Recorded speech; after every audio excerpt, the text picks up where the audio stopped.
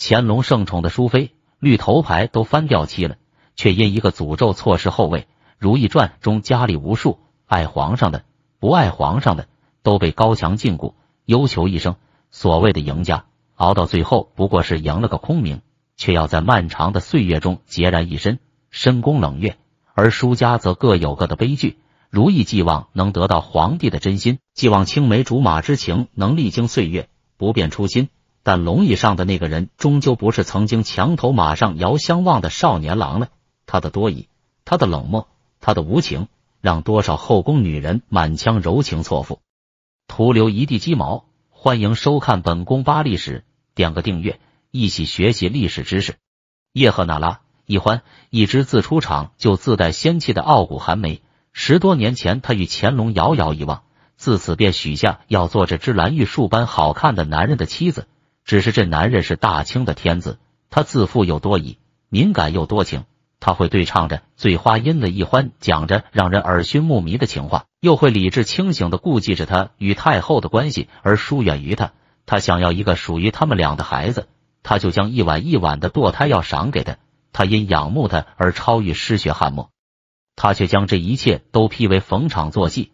等到他在烈火中吟唱着“落尽梨花月又西”的满腹情伤时，他才恍然惊觉，原来深宫中也曾有人那样纯粹而热烈的爱慕着他。可惜一切都晚了。而淑妃叶赫那拉，易欢也并非是作者凭空杜撰的人物，他的原型正是乾隆帝的淑妃叶赫那拉氏。虽然历史上的叶赫那拉并没有如此跌宕又坎坷的心路历程。但她却也是乾隆帝的宠妃之一，她的一生同样写尽了深深宫墙后的万般无奈与心酸。出身名门望族，才貌双绝，惹人爱。叶赫那拉氏拥有显赫的出身，单单是叶赫那拉这个大姓便自带贵族气质。叶赫那拉的太祖是清太宗皇太极的亲舅舅，曾祖父则是康熙帝的肱骨之臣纳兰明珠。叶赫那拉氏的父亲纳兰永寿，十七岁便是御前一等侍卫。二十几岁便身兼议政大臣、礼部侍郎等要职，可谓是文武双全的国之栋梁。可惜雍正九年，纳兰永寿英年早逝，年仅三十岁。父亲的早逝并没有影响到叶赫那拉氏的教育，因为那兰家本身就是书香门第，祖父辈的那兰荣若兄弟都是当世奇才。叶赫那拉氏的亲生母亲苏完瓜尔佳斯伯也是才貌双全，曾和闺蜜龚淡婷合著诗集。两人也常在家中吟诗作对，挥文泼墨。在书香气的浸染下，叶赫那拉氏自小便面容姣好，气质超然。家世和文采赋予叶赫那拉氏的是进宫及一鸣惊人的资本。叶赫那拉出生于雍正六年，乾隆六年，年仅十三岁的叶赫那拉奉旨入宫。这个不到十四岁的小姑娘，却在后宫掀起了不小的波澜。初入宫便被封为贵人，六日之后晋为淑嫔。成一宫主位，这样的晋升速度让多少妃子眼红。要知道，即使在日后盛宠不断的令妃，现在也不过是富察皇后的贴身宫女。更遑论在前底就陪伴乾隆的格格们。其实，对于叶赫那拉这个姓氏，清朝后宫是多有忌惮的，因为叶赫部落留下的诅咒王大清者叶赫那拉氏，让爱新觉罗家族对叶赫那拉氏的女子诸多避讳，大多数都在选秀时期就撂牌子了。而乾隆自第一眼见到叶赫那拉氏，就被她清冷如月的容颜和孤高淡然的气质所吸引，将叶赫那拉氏纳入宫中。而叶赫那拉氏也和后来的令妃一样，真正诠释了什么叫做圣宠。乾隆十三年，富察皇后病逝，同年五月，无子的叶赫那拉氏和魏佳氏同被晋升为妃，也就是淑妃和令妃。在前期，淑妃比令妃是更加受宠的，令妃出身不高，又无文采。而淑妃不仅才貌双全，还精通琴棋书画，无论是出身、样貌还是才学，淑妃都将令妃死死的压制住了。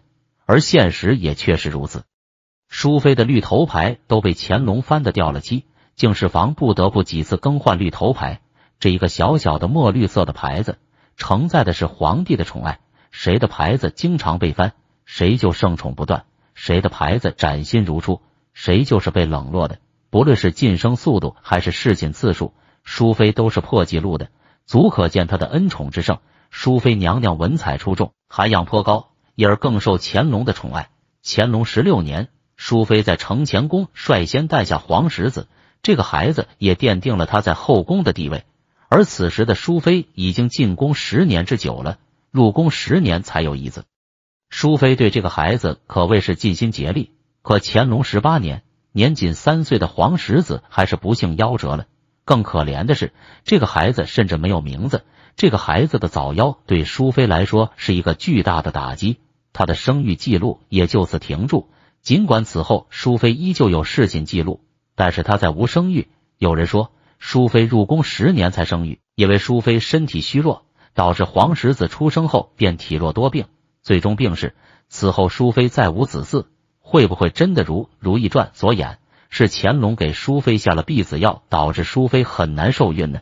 其实这个猜测多少有些杜撰的成分。首先，乾隆对淑妃的感情是装不出来的。皇帝为了巩固统治而将世家女纳入宫中是很稀松平常的事情，而这些女子多数都在入宫后便被冷落一旁。莫说是绿头牌被翻的掉了漆，可能一年到头也见不到皇帝几次。而淑妃的绿头牌屡屡被翻，如果乾隆对淑妃没有感情，大可将她弃置一旁。其次，淑妃的母家那兰家在乾隆时期早已式微，官职最高的那兰明珠早已被罢黜，不受重用，郁郁而终。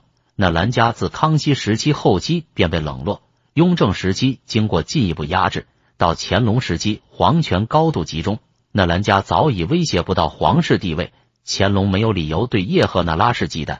最后要说到那个关于爱新觉罗和叶赫那拉的预言，如果乾隆真的迷信这个预言，就绝对不会让叶赫那拉氏进宫。所以说，乾隆因为害怕预言应验，才给淑妃用避子药，纯属子虚乌有。所以，乾隆对淑妃确实是真心喜欢和欣赏的，否则淑妃也不能独占十几年的恩宠。而淑妃盛宠多年却无子，最大的原因有可能是她年纪太小便进宫。各方面都没有发育完全。自乾隆十八年，淑妃唯一的孩子病故后，淑妃便没有了生育记录。与之形成鲜明对比的是，令妃魏家氏异军突起，接连产子，一跃成为后宫宠妃之首；而淑妃则愈加低调，愈加平淡，直至逐渐淡出人们的视野。也许是心气颇高的淑妃在丧子之后看淡人生，看淡恩宠。也许是皇十子病逝后，乾隆的冷漠让淑妃看穿了皇家凉薄，从此急流勇退，再无野心。而乾隆对这位十三岁便入宫的才女也是心怀愧疚的。皇宫禁锢了她的才华，也禁锢了她的心灵。她这样钟灵毓秀的人，本应该拥有光明灿烂的未来，如今却要在皇宫中穷穷竭力，孤独终老。这是乾隆所不愿意看到的。因此。尽管淑妃自己选择了低调，乾隆心里却始终有她的一席之地。淑妃虽然比不上他的白月光富察皇后，可淑妃在他心里也相当于一位心灵挚友。乾隆将淑妃安排在距离养心殿最近的永寿宫里居住，又安排她半驾左右，南巡随侍。在热河避暑时，乾隆的身边站着淑妃；木兰秋显时，宫廷画师郎世宁的画像里有淑妃。宫里逢年过节的赏赐也从不会少了淑妃的那一份。乾隆和淑妃之间褪去了激情的外衣后，留下的就是相敬如宾的君子之交，若即若离，似有似无。尽管淑妃已经关闭了心扉，但是在乾隆心里，淑妃的地位依旧不容置疑。淑妃曾在史书记载中神秘消失了七年，而这七年，淑妃受乾隆所托，养育了一子一女。一个是舒家皇贵妃所生皇室一子，一个是令皇贵妃所生皇九女。淑妃将未尽的母爱悉数倾泻在两个孩子身上，在她的悉心教导下，皇室一子才华横溢，以书法见长，深得乾隆喜爱。自乾隆三十年继后，乌拉那拉氏因为断发而被废除后，令妃和淑妃便是后宫主理人。虽然淑妃娘娘平日里鲜少出现。可是，在没有中宫皇后的日子里，乾隆违背祖制，让淑妃越过令皇贵妃和庆贵妃，主持了本应由皇后主持的亲蚕礼。乾隆三十二年，淑妃四世千秋，乾隆给予了淑妃极重的赏赐。乾隆四十年，令皇贵妃薨逝，淑妃娘娘以妃位统领六宫，协众嫔妃向皇太后请安。此时的淑妃已是后宫地位最高的妃嫔。乾隆四十二年，淑妃薨逝。享年五十岁，而人生尽头，淑妃却未享尊荣，她的丧仪并没有格外加恩。相比新妃和余妃的贵妃规格丧仪，淑妃的丧仪未免过于寒碜。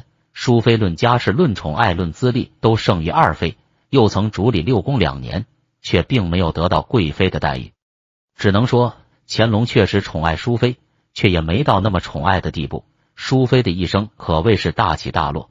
十三岁入宫享尽恩宠，独占十年宠爱，却惨遭丧子之痛。淑妃的通透和豁达，便在于她能够及时看清后宫的波云诡谲和乾隆的良情薄幸，及时抽身，没有沉溺于争风吃醋，与针锋相对，自在过活，乐得逍遥。名分地位都是浮云，当了几十年淑妃，没有晋升，也不争不抢不恼火。大概只有淑妃自己知道，她真正想要的是什么吧。可惜，自她进宫那一刻起，他便知道自己这因缘际会的人生啊，不论如何，都与这座紫禁城再也密不可分了。